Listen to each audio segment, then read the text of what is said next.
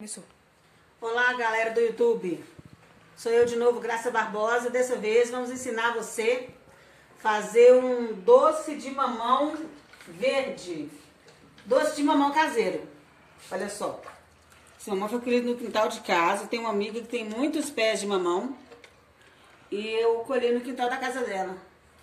Eu tô com essa fala assim hoje que eu tô com uma bela afta, sabe? Aqui então é o seguinte, ó. Corta o mamão assim. Deixa dentro da água um tempo. Enquanto isso, você vai ligar o fogo e deixar uma panela grande de água fervendo. Aí você vai precisar de faca, panela, bacia, um tabuleiro grande e um ralador. Eu uso esse lado aqui do ralo. Tá vendo? Então eu vou... Aí você faz assim, ó, com uma colher, tira essas sementes, tá vendo?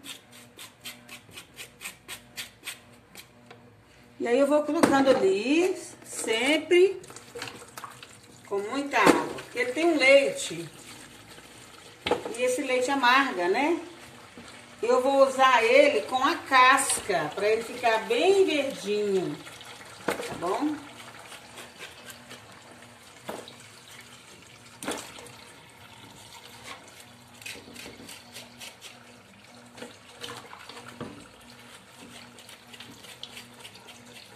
Olha só, esse doce eu aprendi a fazer na roça, quando eu ainda era adolescente. A gente fazia esse doce pra gente comer com queijo fresco, que é produzido na roça mesmo. Você pode comprar um queijinho fresquinho, fazer esse doce, colocar em potes de vidro e servir com, com queijinho. Eu faço para distribuir para os amigos, para servir em casa. E é muito bom, né? Passar o tempo também. Pra gente passar o tempo, não ficar ocioso, parado. Então eu vou começar a ralar para você ver.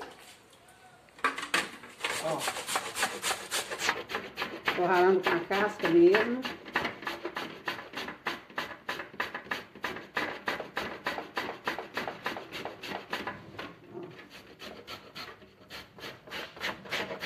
Se você gostar desse vídeo, você compartilha com suas amigas, compartilha com seus vizinhos, deixa o seu like, se inscreva no canal, né? Eu fiquei um tempo sem gravar, mas agora eu voltei a gravar, né? Você ativa seu sininho de notificação para quando tiver vídeos novos, você ficar sabendo, né? Quando você deixa o seu joinha, o YouTube também entende que você gostou do vídeo. Não é mesmo? Aí você vai estar me ajudando a fazer o canal crescer, tá bom? Então vamos lá para a receita.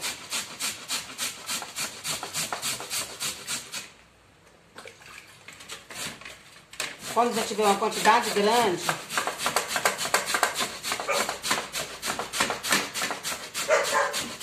olha, olha como que ele fica bonito.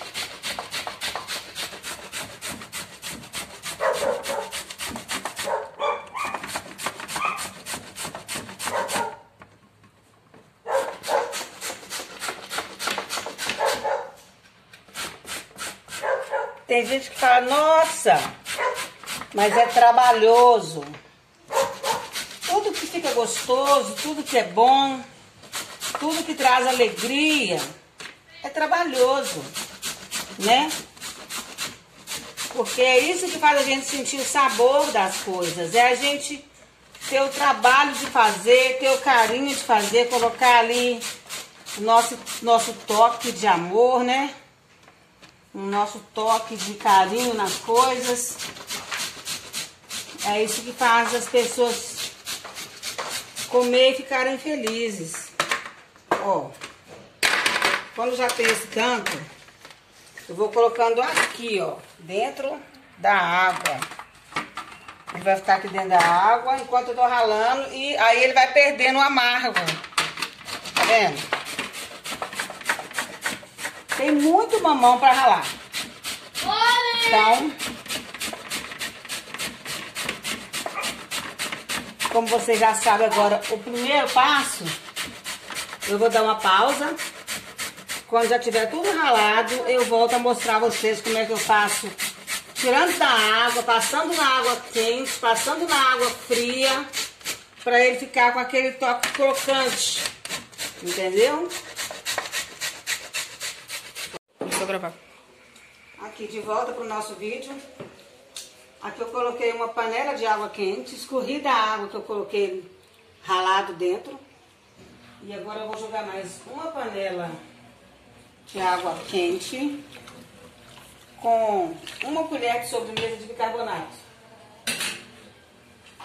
Ok? Agora eu vou ensinar vocês a fazer a calda enquanto isso. Filma aqui, filma da panela. Por favor.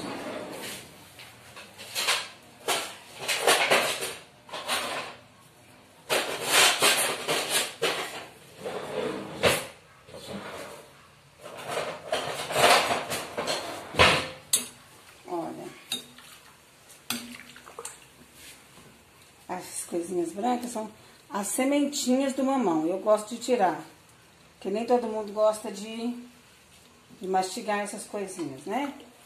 Aqui é o bicarbonato de sódio que eu coloquei. É. Agora eu vou pra calda. Olha só. Açúcar.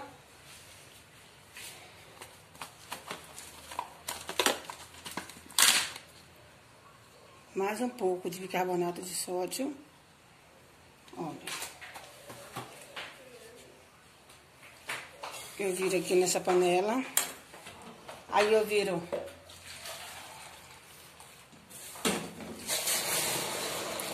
água quente, né?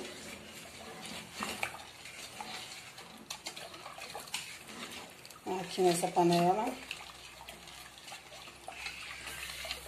Eu gosto de colocar cravo, mas eu esqueci de comprar o cravo. Depois, quando eu for no mercado, essa coisa estava no açúcar.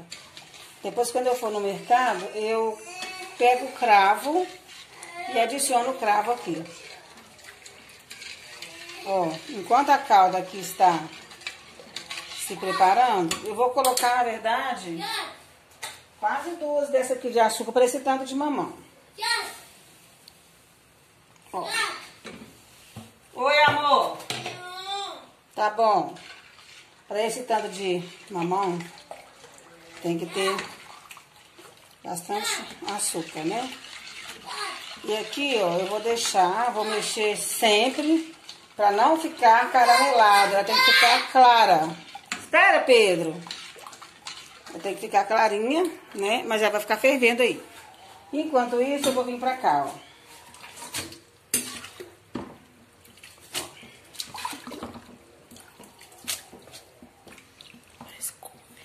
Água fervendo.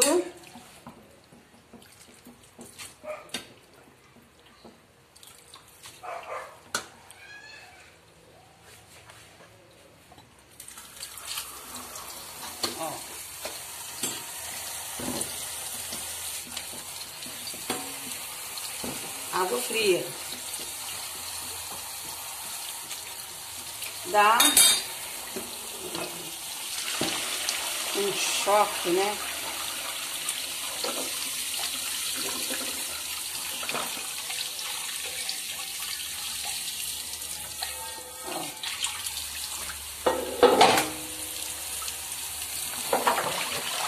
E aqui a gente deixa cair muita água. Eu costumo experimentar não está mais margando. Não tem nenhum amargo, não tem nada. Então, ele estando assim, o que, que eu faço? Eu faço isso aqui, ó. Esse é o meu cuidado que eu tomo, né? Cada pessoa tem um jeito de fazer as coisas. Você encontra seu jeito, né? Você encontra seu jeito de fazer essas coisas. Eu eu tenho esse jeito. Na roça, a gente fermentava com água quente, feita no fogão de lenha. e levava na bica, né? Debaixo daquela água mineral, né? Fria que tinha. Então, é, deixa aqui até encher. Nós vamos pausar novamente, porque daqui a pouco a calda vai estar pronta e eu vou te ensinar como é que mistura esse mamão na calda, ok? Ok. Viu? Olha. Agora nós vamos finalizar o nosso doce de mamão verde. Não é isso? Ó. Passei na água, olha a bacia d'água que eu tirei. Depois de passar água quente, eu deixei mais ou menos uns 20 minutos na água fria aí. Depois de ter passado na água corrente muito tempo. Tá bom? Então, e aí a gente tira o excesso de água, porque senão não tem açúcar que dá e ele não ganha pontos tão cedo. Tá vendo? Ó. Ó.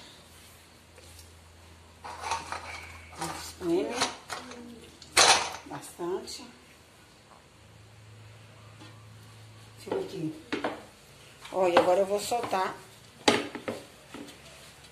Dei que era prensada mesmo. Ó, tá bem prensado. Deu uma quantidade grande de, de doce. Foi seis mamão pequenininho. Não é daqueles grandão, não. Quanto menor, mais verdinho fica.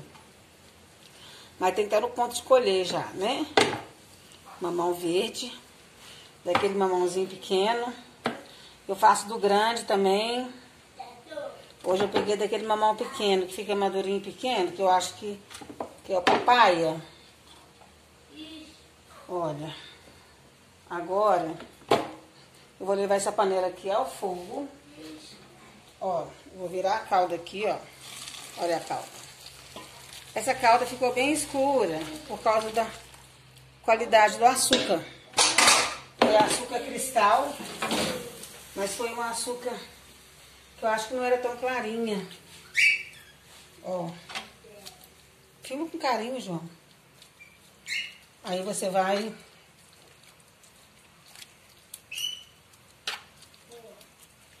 E a gente deixa aqui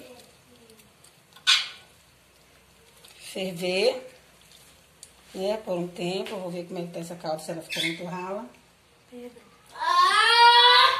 Ficou top demais, ficou grossinha. Outro segredinho, esse é aquele glucose de milho que a gente usa para fazer marshmallow, cobertura de bolo com marshmallow, cobertura para sorvete eu coloquei uma colher de sopa desse produto. Deixa eu te mostrar a cor. Tem ele mais clarinho, mas eu coloquei desse. Ele ajuda, dá um ponto mais grossinho na, na calda. Tá vendo? Aqui só ficou faltando os cravinhos, né? Pra quem gosta. Quem gosta de canela pode colocar canela, quem gosta de cravinho, coloca cravinho. E eu vou deixar aqui ferver aproximadamente uns 20, 25 minutinhos. E depois eu desligo o fogo. Olha como tá verdinho isso, né? Eu volto a te mostrar quando tiver prontinho. Depois volto a mostrar nos vidros, ok? Até mais. Sim, mãe, pode ir. Finalmente nós terminamos o nosso doce de mamão. Olha a calda. Olha a calda. Dessa vez a calda ficou verdinha também. Olha como ele ficou verdinho. Olha, ele fica verdinho assim por causa da casca. E o bicarbonato de sódio faz ele ficar verdinho assim. Uma coisa que eu esqueci de contar pra vocês, que eu coloquei uma pitada de sal. Porque todo doce tem que ter um pouquinho de sal, né? Uma pitadinha de sal só. Nós vamos desligar aqui. Essa panela é uma panela muito grossa, que ela continua muito tempo ainda quente. Eu devo ter deixado por volta de 25 a 30 minutos cozinhando. Eu vou desligar esse fogo agora e vou deixar ela aqui nessa panela mesmo até esfriar. Na hora que tiver bem frio, eu coloco nos potes e aí eu coloco na geladeira, né? Então, mostrar pra você aqui Não tem como te mostrar nos potes, porque só quando esfriar que eu vou colocar nos potes, né? E olha só como é que ficou o nosso doce de mamão caseiro. Doce de mamão da roça. Doce da roça, né? Então é isso. Eu agradeço a você que assistiu o vídeo até o final. É... Vai lá no Cozinha da Graça, né? Arroba Cozinha da Graça.